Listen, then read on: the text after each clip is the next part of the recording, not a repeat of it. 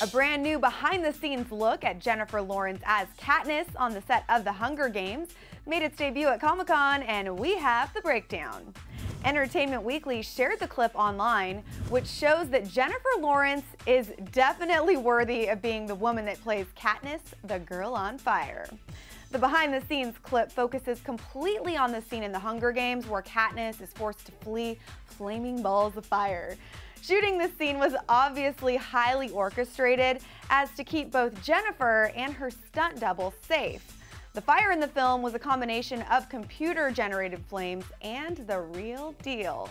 In the clip, we see Jennifer training and practicing for this scene specifically, and she also recalls her own real fear, saying that the trees around her were exploding while she ran the trail, which was surrounded by a 20-foot wall of burning fire.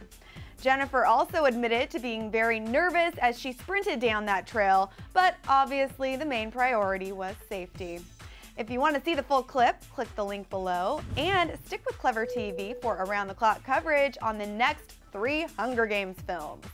I'm Joslyn Davis. Thanks for watching and we'll see you next time.